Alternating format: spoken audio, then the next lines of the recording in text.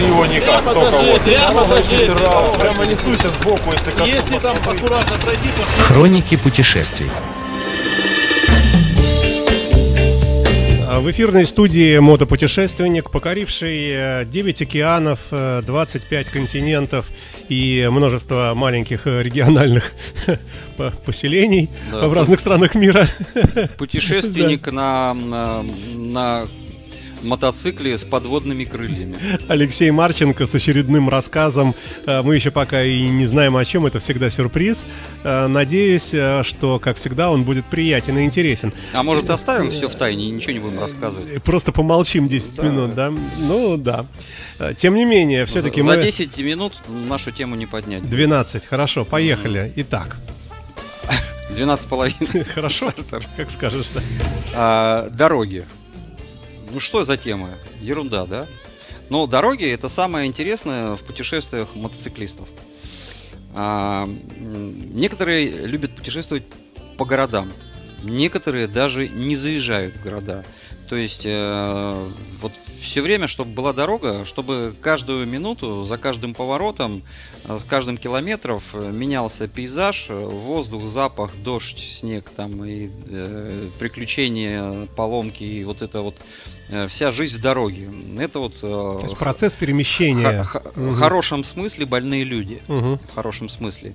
Вот, и поэтому я хотел остановиться о дорогах, потому что, ну, города, п- первые 100 городов э, тебе кажутся разными, а вторые 100 это просто квадратные кирпичные какие-то сооружения, блин. Э, И все равно самое лучшее это дорога. И, то есть вот у меня во воспоминаниях всегда дорога, там желтые поля, кукуруза там какая-то, там виноградники миллионы. Вот это вот хотел рассказать про это и разновидность этих дорог.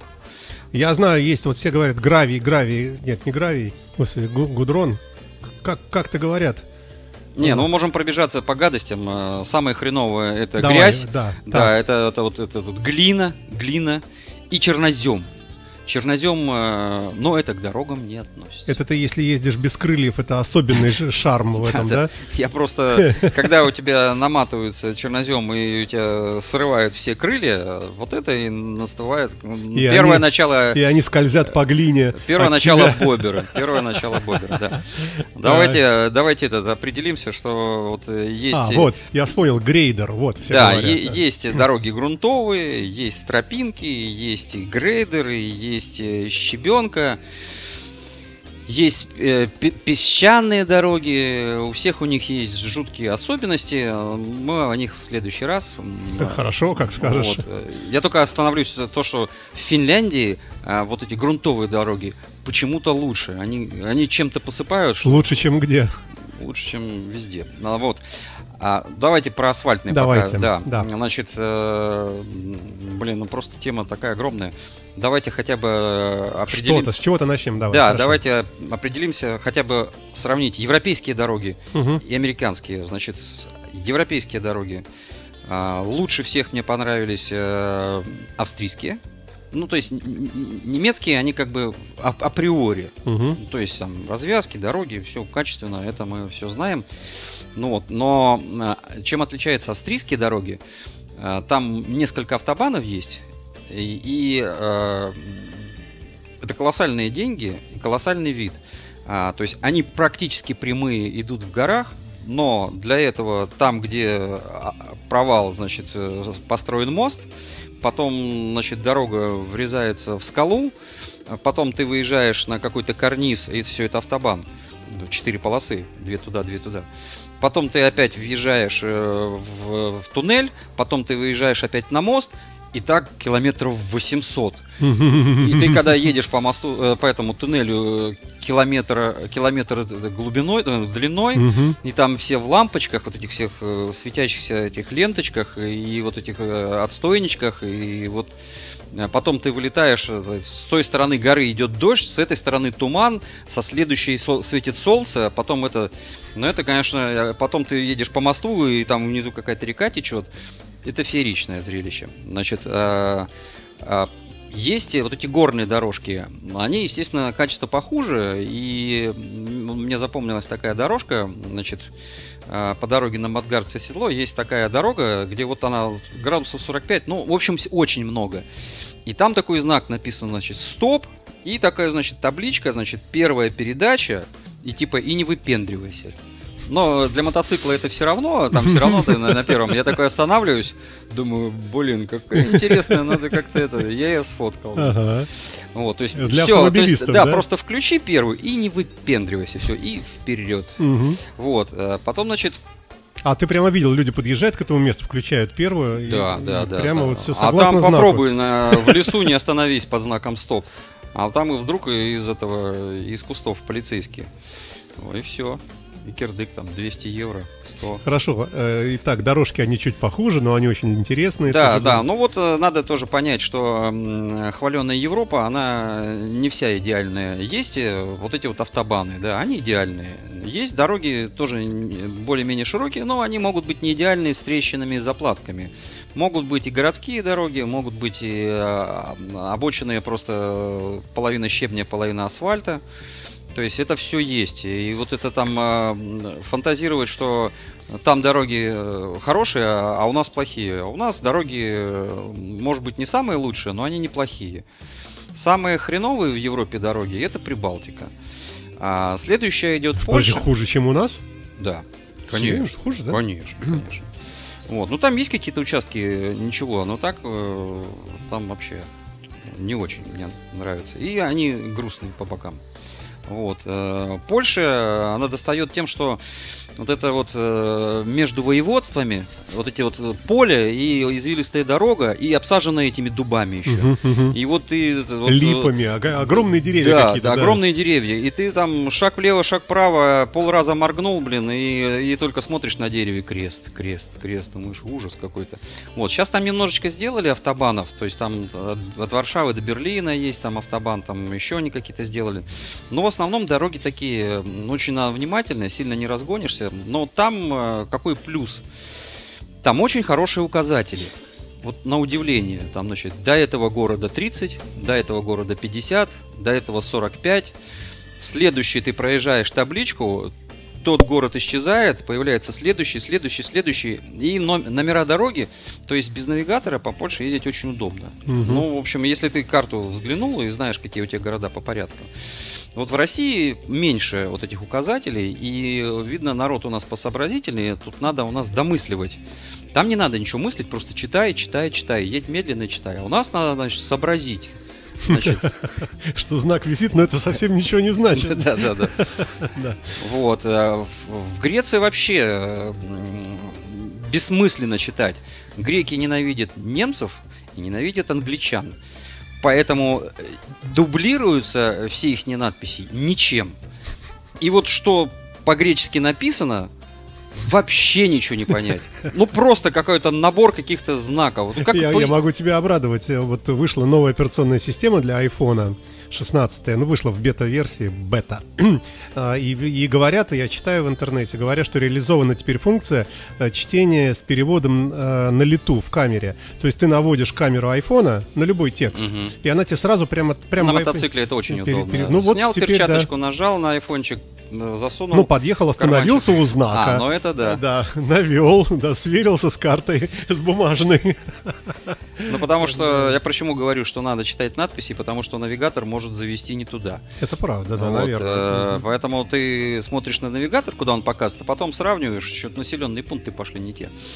Вот, все. Мы говорим о качестве дорог. Да, у нас времени немного. Давайте быстренько переключимся на Америку. И, Э, давай, ну, хорошо. ну, мы У остановимся, нас же что... еще Африку ты забыл. Да, Африка Марокко. м- Да, да. Значит, смотрите, э, бензоколонки э, в Германии, там, на автобанах, а, они вдоль дорог стоят. Ну, в общем, во всей её видно Европе издалека. ее да? всегда видно издалека, потом табличка, есть Заезд, всё бензоколонка, показано, да, да, все да. показано. Ну, а, естественно, там, если на автобане, там 100 километров, и ты что-то там где-то просчитался, все, значит, навигатор включаешь, и есть съезд, какой-нибудь городок, и ты уже заезжаешь на деревенскую бензоколоночку, и там заправляешься. Вот. э, Америка. Все там не так. То есть э, ты выезжаешь на автобан, ну на автобан, ну этот э, ин- interstate или как он Хайвей. Хай, хай, Хорошо. хайвей. ха- Хайвей, да. И, короче, ты едешь, едешь, едешь, едешь, едешь, едешь. Блин, уже бензина нет, а ты все едешь, а тебе никаких бензоколонках, никаких указателей, что там бензоколонка, вообще ничего нет. Думаешь, опа, вот это я вообще молодец. Как это? удачно заехал, Удачно да. я тут заехал. Да. Вот, оказывается, значит, э, есть табличка такая, съезд. Э- э- Эксит, эксит, да, да, эксит там 21, Мгм. эксит 40. Казалось бы, я думаю, что за ерунда, что за надписи. Какой такой эксит? Да, и все, ты раз съ- съезжаешь на него, а там тебе э, 2-3 ресторана, чаще всего. Если там где-нибудь э, очень далеко, то может быть один ресторан. И чаще всего одна, две, три, а то и четыре бензоколонки. В общем, все бензоколонки, которые есть в Америке, они все там. То есть это И их обычно- не видно с самого хайвея. и- Вообще не видно. И видно только Харли Дэвидсон. Ты едешь, а из леса стоит такая палка и значок Харли И Дэвидсона. под ней Макдональдс. Не-не-не, ты, ты из леса видишь, думаешь, а, вот здесь вот еще на этой площадке еще и Харли Дэвидсон есть. Вот. Вот, все, ты подъезжаешь, э, и ты все, можешь поесть. э, Даже э, есть шанс, что там стоит какой-нибудь отельчик. Мгм. Есть. Ну, естественно, это на, на жирных трассах, там типа Нью-Йорк, Вашингтон, там Вашингтон, там этот Флорида, Р- Майами, Род- там. Э, 6- 666. э, Нет, Road 66 это 40 там тоже, кстати, неплохо. Там вообще э, шикарно.